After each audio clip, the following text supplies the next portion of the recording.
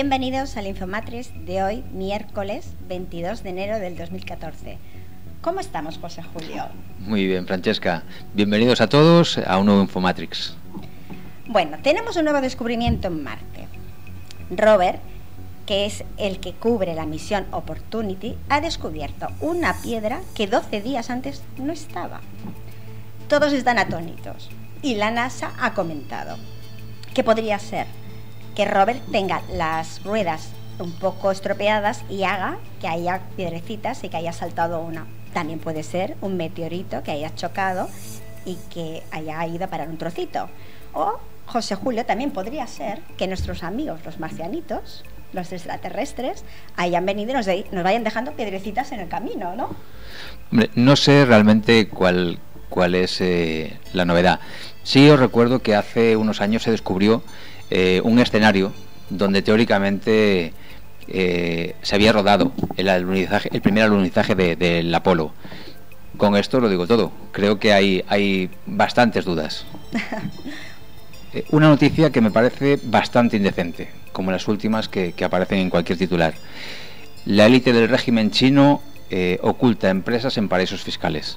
O sea, se ha demostrado a través de una investigación que 13 familiares de, los altos funcionarios eh, chinos, incluido el cuñado del presidente, tienen grandes fortunas en paraísos fiscales.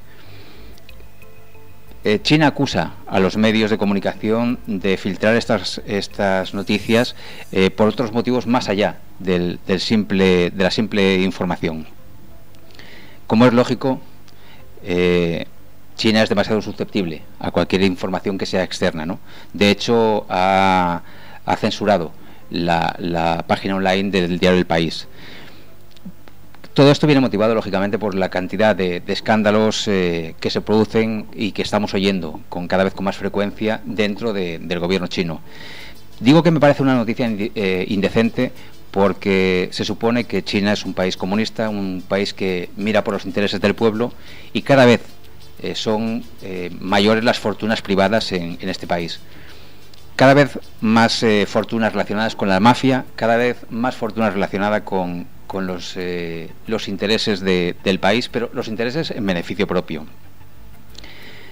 O sea, si estamos, es un país que, tiene los, los, mayores cerebros, son familiares de, de, los propios funcionarios, o sea, quiere decir que es una gran familia, pero una familia de corrupción eh, y una familia donde, donde se lo manejan y todos se lo, cuecen ellos.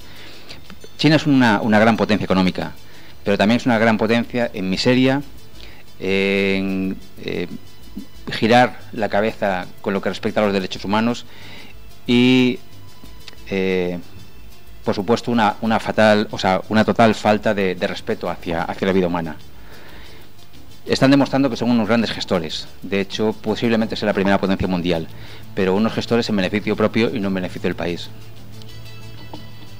Muy interesante. Siguiendo con la noticia internacional y en algo muy parecido a esto, eh, he leído un titular sobre, sobre Venezuela y es que el presidente Nicolás Maduro crea el viceministerio para redes sociales. Lógicamente, eh, todos estos mandatarios se asignan la, gente que más les conviene para desempeñar estos cargos.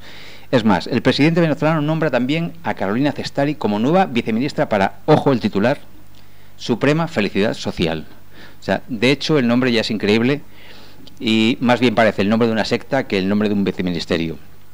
La función de este viceministerio es simplemente censurar toda la, información que entra a través de las redes. Todos los países eh, donde, donde hay dictadura, lógicamente toda la, información externa eh, va en contra de los intereses del país, lógicamente. Entonces, eh, yo lo que no entiendo es cómo ciertos personajillos, en cuanto se encumbran un poco, se creen que directamente se dan la mano con Dios. ¿Cómo es posible que un guardia de seguridad, como fue Maduro, sin ninguna formación académica, ni política, ni por supuesto ética, esté eh, se, vea capaz de gestionar un país, una potencia eh, en lo que se refiere al petróleo como es Venezuela, pero también una potencia eh, en índices de criminología, perdón, de criminalidad y de delincuencia. eh, sinceramente, es algo que no me cabe en la cabeza. Que cualquier, cualquier eh, personajucho sea capaz de, de considerarse semidios. Seguimos con las redes sociales. Se ha vendido un bebé por internet.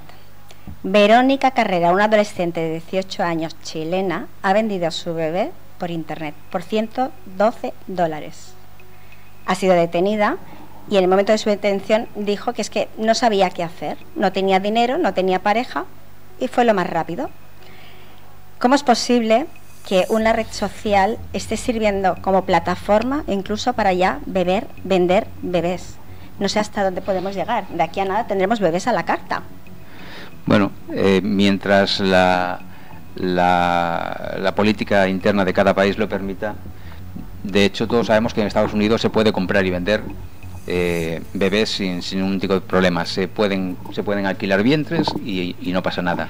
Sí, sí, pero ahora en una red social, en un Face, que podamos decir, bueno, tengo un bebé, pues lo vendo. Bueno, sin comentarios. Sin comentarios. ¿Qué más tenemos? Eh, hoy era clave dentro de, las conversaciones de la, Unión Europea eh, marcar los objetivos de, nacionales para las energías renovables. En este caso, la Unión Europea renuncia a los objetivos de energías limpias obligatorios. Ha habido demasiada presión por parte de tanto del gobierno británico como del gobierno francés para, para que no se lleven a cabo estos objetivos. Se habían marcado unos objetivos de, de unos porcentajes de máximos de, contaminación de, de aquí al año 2030.